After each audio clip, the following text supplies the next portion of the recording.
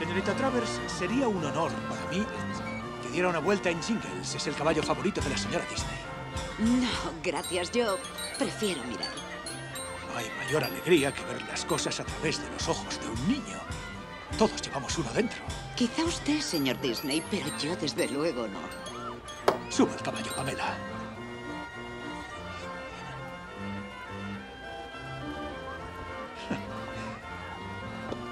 Cuando nos conocimos, me dijo, son mi familia.